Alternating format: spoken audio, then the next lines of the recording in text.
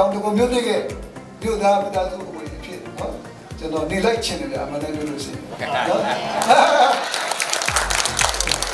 အမှန်ပဲအဲ့တော့တကယ်ပြောတာပါကျွန်တော်အခုဟလာရွှေတောင်ကြားအေးရမြိုင်မှာနေပေမဲ့ကျွန်တော်စိတ်ကမင်းညအစပြီးတော့တောင်တကုံမြို့တိနော်အဲမြို့သူမြို့သားဖြစ်နော်ဟိုထိုင်လိုက်ပါလေဗျာနော်ဒီနေ့ကိုယ်နဲ့မျိုးတိုင်းမှာပြောတယ် အဲ့တော့အားလုံးရှိမှလည်းပဲကျွန်တော်လူကြီးများပေါ့နော်အစစရရအဲသူတို့ဟို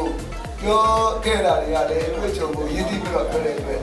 တော်တော်လေးပြည်စုံပါပြီအချိန်လေးတော်တော်လေးအဲလုံလောက်တော့ပါချင်ပါတယ်အဲဒါလေးဟိုပြောရင်းနဲ့ပဲကျွန်တော်အားလုံးကိုအဲ့ဒါဒီတောင်တကုံမြို့တိကမြို့သူမြို့သားတွေဟာဘေးရန်ခတ်တိန်အေးချမ်းဖို့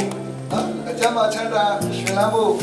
အားလုံးဟိုပြောရင်းနဲ့ပဲကျွန်တော်စုမမောင်းတော့ရင်းနဲ့ပဲနှုတ်ဆက်ပါတယ်ခင်ဗျာအားလုံးကျေးဇူးပါ